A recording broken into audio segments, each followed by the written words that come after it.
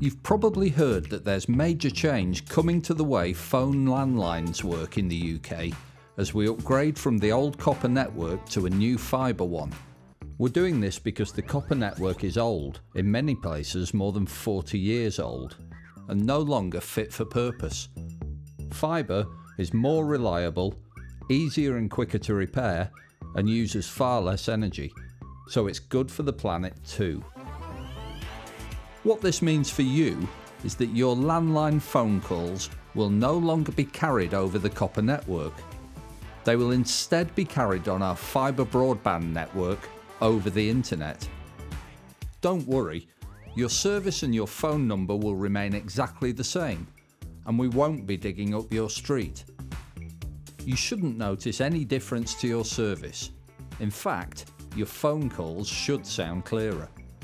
What it does mean though is that your landline phone will need to be plugged into a different box on the wall.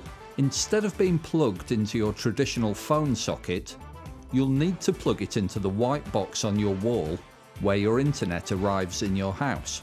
This box is called the Optical Network Terminal or ONT for short and is the box that your broadband router also plugs into.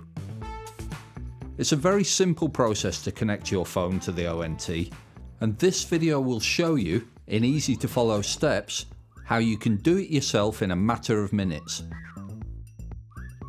Firstly, look out for this adapter package arriving through your letterbox.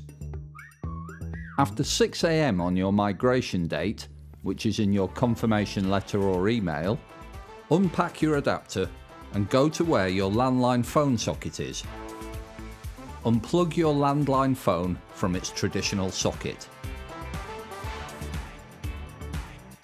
Now go to where your ONT box is.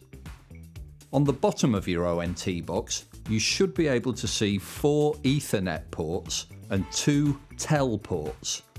Now plug your adapter into TEL1 port, which should look like this. The green TEL1 light on the top of your ONT should now be lit showing that you have successfully switched to fibre. Once you've done this, plug your phone into the other end of the adapter, like this, and that's it. Your phone is now connected to the fibre network. It's that simple. Now, to check everything is working as it should be, please make a test call to a friend or a family member and then ask them to call you back to make sure incoming calls are also working as they should. Hopefully, everything should be working fine and you've successfully got your landline fibre ready.